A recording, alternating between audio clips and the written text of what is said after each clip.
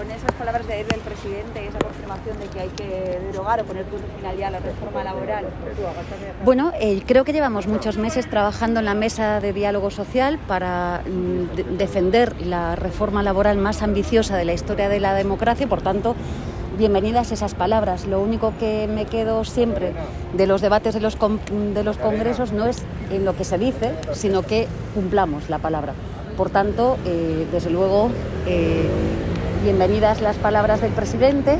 Vamos a cumplir con lo que estamos diciendo, con el acuerdo de gobierno, con el componente 23 que hemos remitido a Europa y ayer mismo con el impulso que el presidente le ha dado. Pero ya les anticipo que las eh, reformas están muy avanzadas y que rápidamente tendremos una propuesta de reforma laboral que será ya de nuestro país.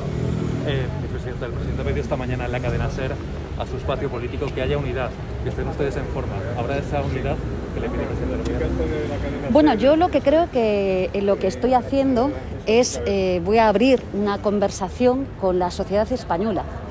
Y además lo que me interesa es que la sociedad española sea la protagonista, que es creo que lo que falta en este país.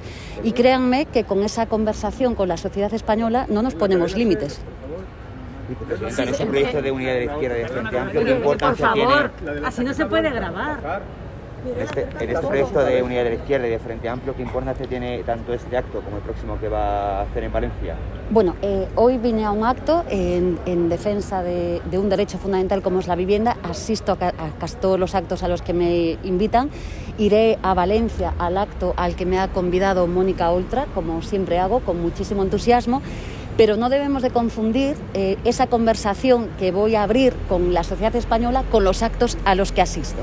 Creo que lo importante es la conversación que la sociedad española eh, bueno, eh, va a tener, en la que, insisto, tiene que ser protagonista los profesionales, las gentes de nuestro país, los trabajadores, las trabajadoras, los movimientos sociales, no los políticos. Los políticos somos puros instrumentos y ahí, en esa conversación, insisto, creo que no tenemos límites. Es decir, eso es la mayoría social de nuestro país. Bueno, una última pregunta. Con el tema de la prostitución, ¿están a favor de la abolir, abolir la prostitución, como ha dicho el, PSOE este fin de semana? Bueno, creo que este debate ya es bastante antiguo ¿no? en, en el seno del PSOE y en el seno del feminismo. Por tanto, eh, bienvenidos todos los eh, debates sobre la prostitución y convendrán conmigo que la trata es la principal eh, esclavitud del siglo XXI y, por tanto, en fin, tampoco es un debate nuevo, permítanme que les diga. Perdón, ¿qué le parece la